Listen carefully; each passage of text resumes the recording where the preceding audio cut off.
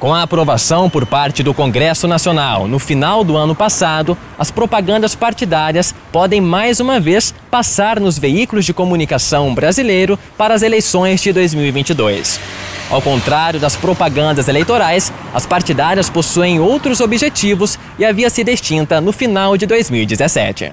A propaganda partidária é aquela produzida pelos partidos políticos com a intenção de divulgar os seus programas, né, as suas ideologias, as suas ideias em relação ao país e à forma de administrar o país, visando, sobretudo, buscar novos filiados para eles, partidos políticos.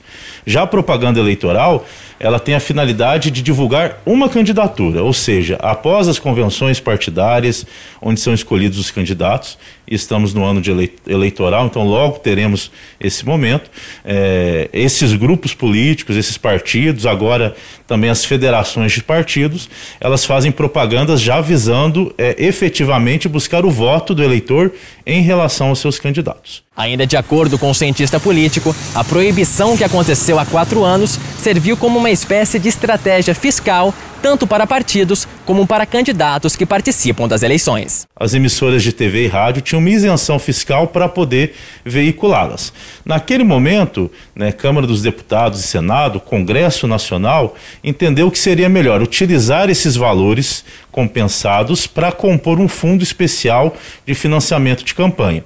Ou seja, eles entenderam que os recursos que eram gastos na propaganda partidária seriam melhor investidos nos fundos de financiamento de campanha. Final de 2017, início de 2018, para o ano passado, houve uma alteração na lei que permitiu a volta dessas propagandas partidárias, agora sem essa isenção fiscal para rádios e TVs. Outra alteração feita pelo TSE tem a ver com as fake news, as popularmente conhecidas como notícias falsas. Agora, quem criar, publicar ou compartilhar esse tipo de conteúdo pode sofrer sanções previstas em lei prisão, pena de multa, né, justamente para que não ocorra o que vem acontecendo, enquanto é, informações falsas é, são levantadas, seja para colocar um candidato em uma situação ruim ou elevar outro candidato, mas essas pessoas estão sujeitas a essa penalidade para que não façam e que não cometam esse tipo de distorção. Este professor explica quais são os cuidados que devemos ter ao receber uma notícia para saber se ela é verdadeira ou falsa, além da preocupação que as grandes plataformas possuem, como o Facebook e o WhatsApp, que são da mesma empresa, ao tentar inibir esse tipo de conteúdo em seus meios. As fake news são, um, entre aspas, um mal do nosso tempo, mas nada mais são do que uma evolução tecnológica, entre aspas, do famoso boato. Né? A gente não sai por aí confiando em qualquer boato que a gente escuta.